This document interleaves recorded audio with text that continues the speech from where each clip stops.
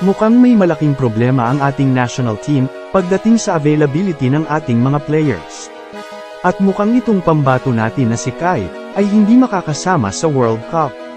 Pag-usapan nga natin yan.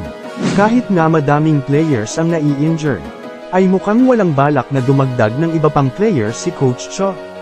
Meaning sobrang slim na ng chance na makita natin sina RJ Abarientos, SJ Belangel, Gomez Deliano, Matthew Wright, Justin Baltazar at iba pang magagaling na Filipino players na mag-suit up para sa ating national team.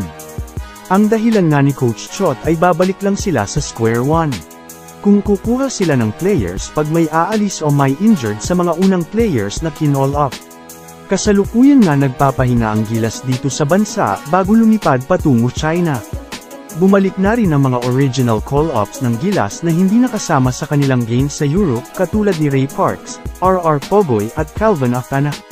Pinaka-problema talaga ng Gilas ngayon ay ang availability ng mga players dahil sa mga injuries. Nauna na umalis si Carl Tamayo dahil sa kanyang injury.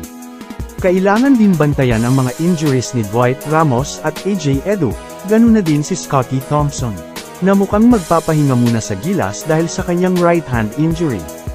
Ang pinaka-worst nga na mangyari is itong si kababayan kay Soto, ay mukhang hindi makakasama sa darating na World Cup dahil sa kanyang iniindang back pain injury, naging mas prominent na itong nung kanyang last game kontra Boston, kung saan nakapagtala lamang siya ng 2 rebounds, isang assist at ilang turnovers sa 8 minutes na play and time hanggang sa tuluyan na siyang nilabas matapos makaramdam siya ng lower back spasm.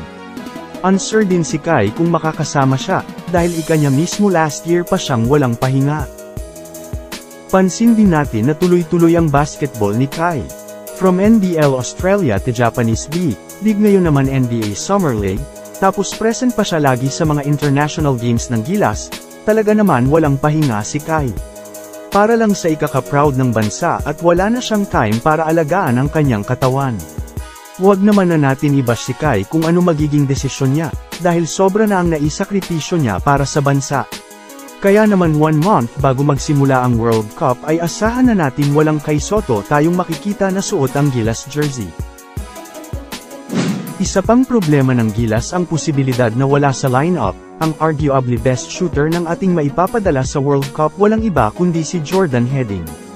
Back injury din ang dahilan kung bakit hindi pa nakakapag-practice ang Filipino-Australian sharpshooter, pero kasalukuyan nasa rehab phase na itong si Heading, ngunit at nanatiling hindi sigurado ang kanyang availability, sa darating na World Cup. Malaking butas ito para sa Gilas, dahil si Heading ang isa sa mga legit na show outers natin, na talagang kailangan natin sa mga international stage, katulad ng World Cup. Ang daming problema kinakaharap ngayon ng ating national team, sana fully prepared tayo pag haharap na tayo sa World Cup. Thoughts nyo dito mga ka-playbooks comment lang yan down below, and make sure to like and subscribe sa ating channel.